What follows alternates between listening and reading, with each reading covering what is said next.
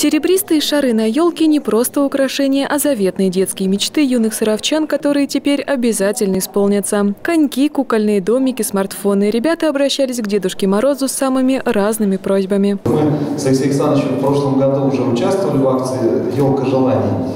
Э, дарили ребятам подарки, и вот это неподдельное детское счастье от того, что мечта сбылась, э, просто невероятно заряжает и хочется это повторить. Ну и, конечно, и кукольный домик, и коньки э, дети получат. Добрыми волшебниками для детей стали директор ядерного центра Валентин Костюков, научный руководитель ВНИЕФ Вячеслав Соловьев, заместитель председателя профсоюзного комитета ядерного центра Сергей Козинцев, председатель городской думы Антон Ульянов и глава города Алексей Сафонов. Очень хорошая традиция, она позволяет вот в конце года остановиться чехарде событий, в чехарде проблем и посмотреть на наш мир вот другими глазами, именно детскими глазами. Если уже дети не будут верить в счастье, то нам-то зачем жить? Благотворительная акция «Елка желаний» прошла в нашем городе во второй раз.